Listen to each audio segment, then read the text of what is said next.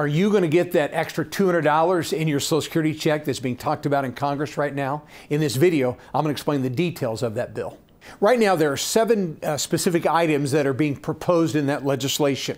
And so we're going to look at the details of each of those. The first one is a change to the cost of living adjustment index. If we are going to get an increase to our Social Security checks, it's because of an index increase. And so right now, the present system uh, those COLAs are tied to the Consumer Price Index for uh, urban uh, wage earners and clerical workers okay, which simply means this they determine a, a, a, basket of goods and services that these workers are actually buying.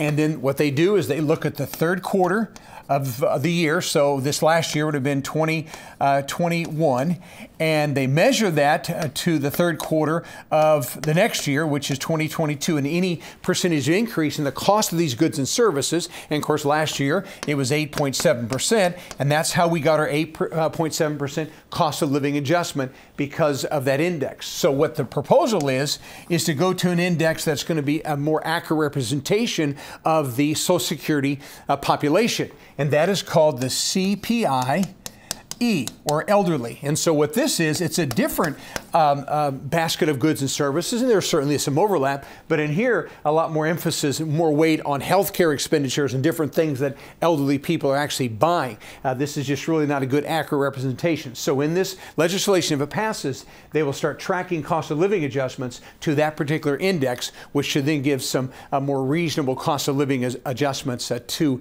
uh, that segment of the population. Hey everybody, just real quick, I want to remind you to hit the subscribe button and ring the bell below. Just recently, I had a lady call me and she was scammed three times to switch her plans in one week just because she didn't have an education. We upload three videos every week, and our content is designed to give you the education that you need so you will not make those kind of mistakes. If you subscribe and ring the bell below, you'll never miss an upload. Hope you enjoy the rest of the video. Now, the second item being proposed is an update as well as an increase, an increasing amount for the special minimum benefit. Now, uh, many people are never affected by the special minimum benefit. However, there are some that are, and this is a group of people that are called lifetime low earners, which means they worked all their life but they did not make a lot of money, therefore did not contribute a lot into Social Security. Now, the average person's uh, Social Security benefit is based upon what is called their primary insurance amount. If they go to full retirement age, that's what they get. If they take early, they take less. If they take later, they, they get more. And so, uh, lifetime low earners have very low primary insurance amounts. And so, this system in 1972 established a way for lifetime low income earners to be able to get more money. And so, they set up for them what is called a special primary insurance amount. Okay, the problem is uh, primary insurance amounts are adjusted whenever we have a cost of living adjustment, and these adjust based upon uh, in, in, uh, a wage index. This primary insurance amount, for whatever reason they did this back in 1972, they tied it to the consumer price index, okay, which does not go up as drastically as what this does. So now what's happening is this special uh, primary insurance amount is still very low. And so in this legislation, what they're doing, they're going to change the index, they're going to raise it, and they're going, to base it upon how many years this person worked, which means if you worked uh, 10 years or you worked 30 years, the person with 30 years is going to be able to make more money. And they're going to tie this to the federal poverty level. Okay, and so then if someone worked 30 years, uh, then this new index would give them 125% of that federal poverty level, which is going to give them a greater amount in their Social Security benefit, actually substantially more for them. So again, this will benefit those that were lifetime low earners. Okay, item number three that is being proposed is a restoration of Social Security benefits for students. Now, this specifically are for students who are the children of parents that are on disability or have died, they've deceased. Okay, specifically increasing these benefits. Now, the present system, what happens is a student can get benefits, uh, but those benefits would cease at the age of 19. Okay, they enacted this basically back in 1983, they changed this. And so, right now, benefits for Social Security stop at 19. And so, in this legislation, it's going to go now to age 22. So a student of a disability uh, parent or one that's deceased then can get these benefits for an extra three years and really will be very helpful for them. Uh, they do have to be in school full time, either in high school, in college, or in a vocational school to be able to get the benefits now to age 22. Now, this fourth change being proposed is uh, definitely going to help the whole overall system financially, but it's also kind of a technical issue as well. And that's this what they're going to do is they're going to combine a couple of the trust funds. They're going to combine the old age and survivor insurance trust fund with the disability insurance trust fund and make those one. And they will just simply rename those two, and it will become the Social Security Trust Fund. All right? And so that's the fourth change. Now, the fifth change being proposed in this legislation is an increase to the net investment income tax schedule. And so the net investment income tax is this. Let me just read this to you. It says, in general, the net investment income tax includes, but is not limited to, interest, dividends, capital gains, rental and royalty income, and non qualified annuity income.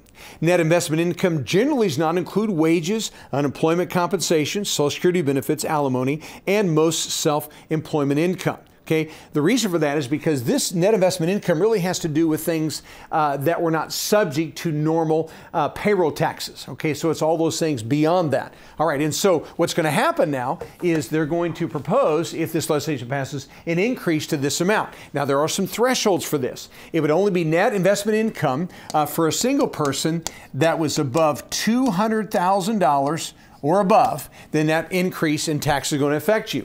If you're married uh, and you file a joint return, uh, the, the threshold is $250,000. So if I stay below those limits, uh, this tax is going to not have any impact on you, at least this increase is not. And so what happens is the present system, everything above uh, these thresholds with net investment income, has a 3.8% uh, tax on it. That's the present system. If this legislation passes, they're going to add a 12.4 12.40% to that. What is that? That would be a full Social Security amount because we uh, pay 12.40% uh, in uh, Social Security taxes up to a certain limit.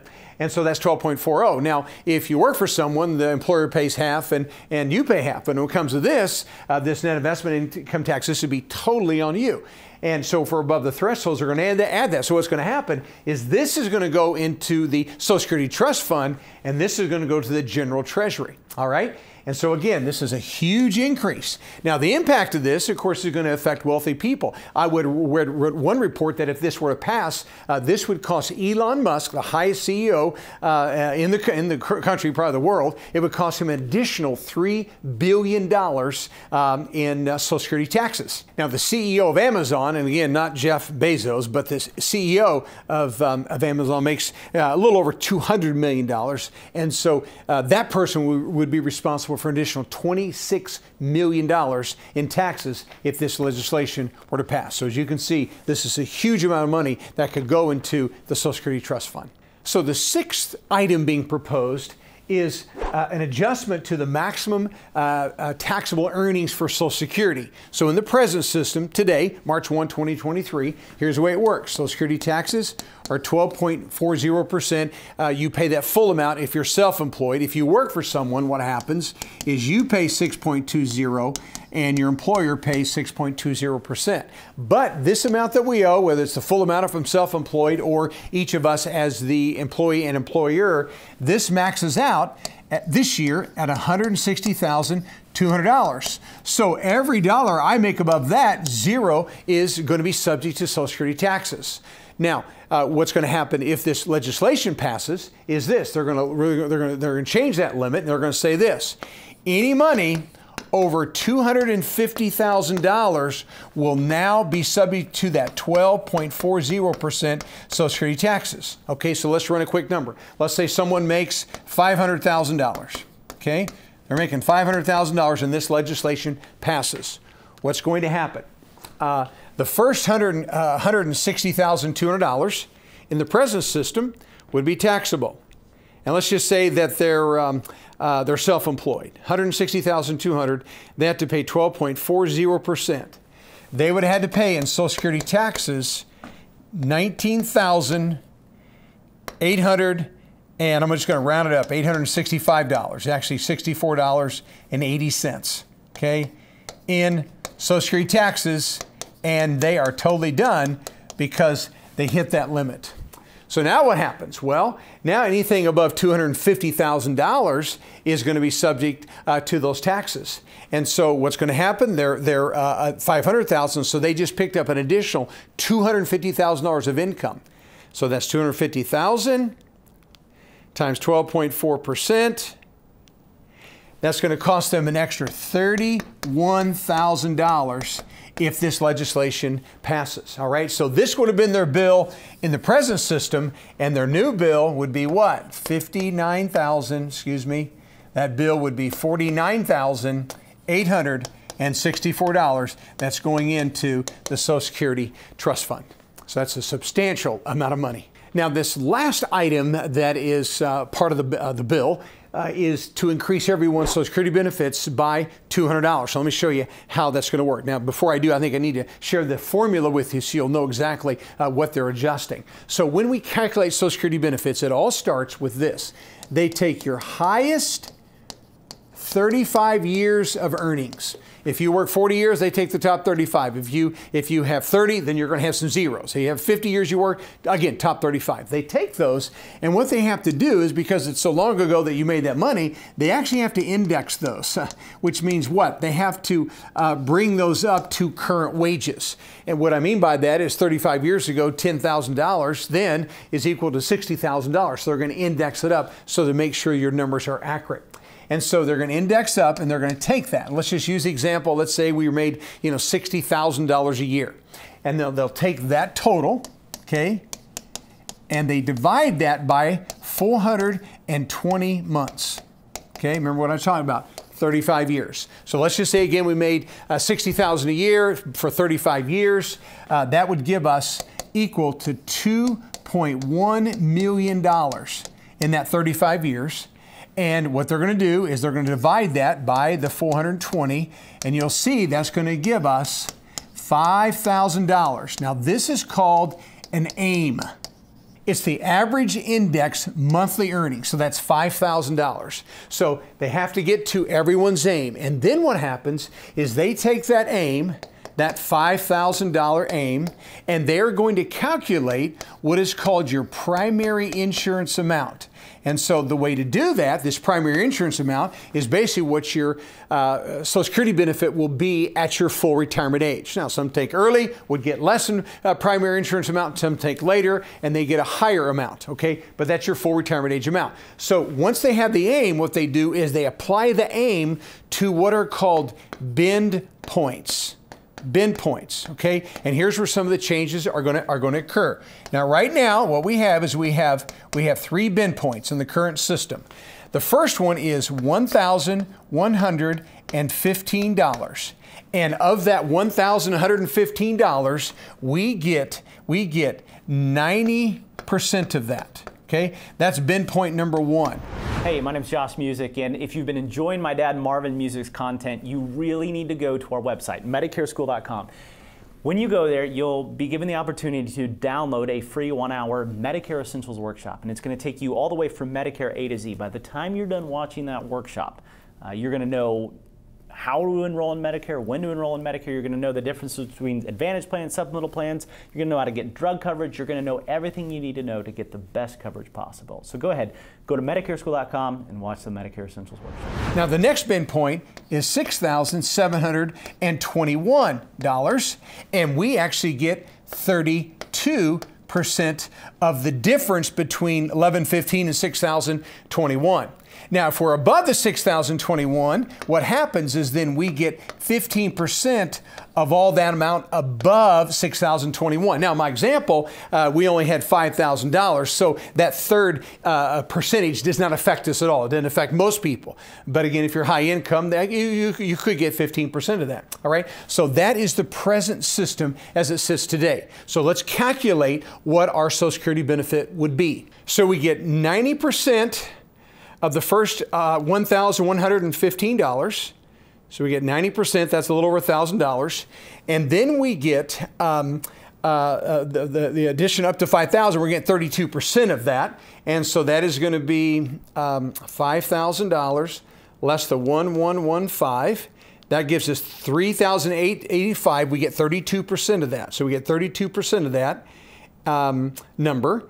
and we add the two together, and that makes our primary insurance amount under the current system $2,246.70. That's the present system based upon uh, the bend points um, as, as they stand. All right, now if I take my Social Security before then, before my full retirement age, I'm going to get less. It's 6% a year less. If I grow that amount, it will grow at 8%. Okay, so that's the primary insurance amount. So what is being proposed is this. So here's the proposed. So this is how they're going to give people an additional $200 or more within their Social Security check. What they're saying first, first thing they're going to do is they're going to give an increase to this number right out of the gate. They're going to increase that number by 22%. So we take 115 and we go 22%. Okay? And that brings this first bend point at 1,600 no, $1,360.30. Okay? And then they're going to raise this 90% to 95%. Okay? Now, the next bend point is the same. They're not, they're not going to alter that, uh, at least not in the present uh, legislation. So we're at 6,721 even, right? At that number there. So we know we get 32% of that, and that fourth uh, percentage is still going to be 15%. But in my example of $5,000 uh, for my um, averaged index uh, monthly earnings, we don't get into that. So now let's see what our check would be if this legislation goes through. Now we have an increase of 22% uh, to that first number. So we're at 13,630, and we're going to get 95% of that. So that gives us 12 uh, hundred and ninety-two dollars and twenty-nine cents. Okay, and then again we're going to get the same amount because we had that difference of. Um, let's go back of the one one one five. Excuse me, of the five thousand dollars minus now our thirteen sixty thirty. And we get what? 32% of that. Okay and that's going to be 1,164.70. And again, we don't get to 15%, so we add that to 1292.29. Uh, and now our check would be $2,456.99 if that legislation passed by increasing the first bend point number and increasing the, the, the, the bend point percentage. We said our check was 2246.70 and now it goes to 2456.99. Uh, As you can see, right at a $200.10 a month increase. So that's how they're going to give everybody on Social Security. Uh, they don't, they're going to alter these numbers, but uh, by altering that first bend point and by increasing the percentage, you can get everyone on average right at $200 additional in their check. And so you can see there's lots of things being proposed. And so their goal is this their goal is to increase people's Social Security checks just because of all the inflation issues we're addressing, as well as solidifying uh, the Social Security Trust Fund. And they're proposing right now, if all these changes go through, that that will extend the life of the Social Security Trust Fund an additional 75 years. Because right now, remember, there's plenty of money there, but when we get to uh, 2035, here in just 12 years, uh, they say that if nothing changes, they'll only be, be able to pay out somewhere between about 75 to 80 percent of everyone's Social Security benefit, which means everyone on Social Security, if there's no changes, is going to take about a 20 to 25 percent pay cut. And that's drastic, especially for those people who rely on Social Security alone. All right. Now, will this pass? I have no idea. But I do know there needs to be some very serious discussion about all these items, and we'll just have to wait and see what Congress does.